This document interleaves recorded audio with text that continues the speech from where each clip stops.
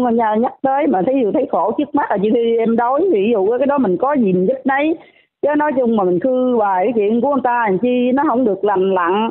Nhiều khi người ta muốn tu rồi khư hoài người ta phải nổi sùng lên nhiều khi người ta Rồi. quạo nữa. Rồi.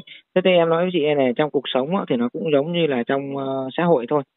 Ờ, ví dụ như là trong pháp luật đi nhá thì nó cũng có những cái lỗi là nó có thể phạt hành chánh hoặc là có cái lỗi nó có thể phạt hành à, phạt trị án treo. Và nó cũng có những cái lỗi là nó có đi tù. Và có những cái lỗi nó phải trung thân. Đó. Nên là chị cứ bận rộn vào cuộc sống thôi chị sẽ hiểu em nói câu đó nhé rồi em nhớ cũng chị rồi.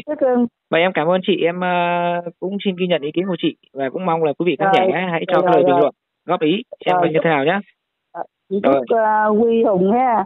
Càng ngày sức khỏe dồi dào và những, đi cái những chỗ mà cái vùng sâu vùng xa người ta còn khổ nhiều lắm gắng giúp người ta đi nghe cưng mình. Không có giàu có gì Dạ, giúp người ta lấy cái đức sau này cho con mình với sau này á, mà mình có đức là trên hết cái đức đứng đầu nghe cưng kệ Dạ, giúp rồi. đi cưng rồi em cảm ơn chị rất là nhiều. Rồi em cũng ờ, chúc chị với gia đình mạnh khỏe. Em chào chị nhé rồi chị cảm ơn em. Dạ rồi chào chị